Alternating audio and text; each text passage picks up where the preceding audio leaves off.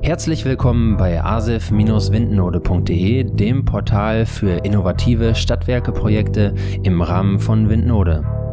Diesmal möchten wir Ihnen die Softwarelösung Grids Energy City mit Herrn Johannes Sigula vorstellen. Gerade in Richtung Quartiere, sozusagen aktive Player, um Quartiere einerseits sichtbar zu machen, aufzuzeigen, aber auch, wie kann man Sanierungspotenziale identifizieren und vor allem dann aber auch Sanierungsfahrpläne daraus entwickeln.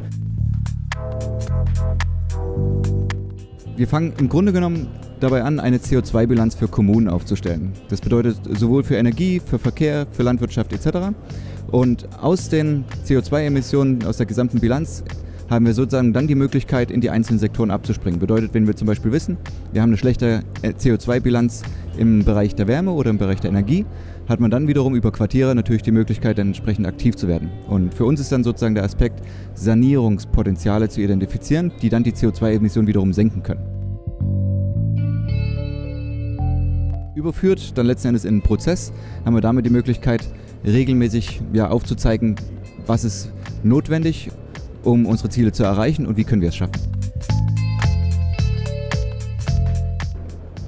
Stadtwerke wollen ihre Kommunen dafür gewinnen.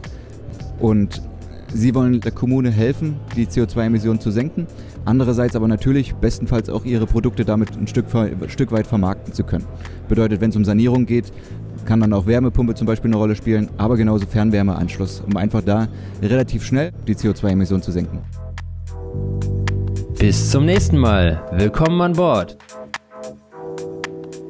Jetzt liken, abonnieren und Glocke aktivieren.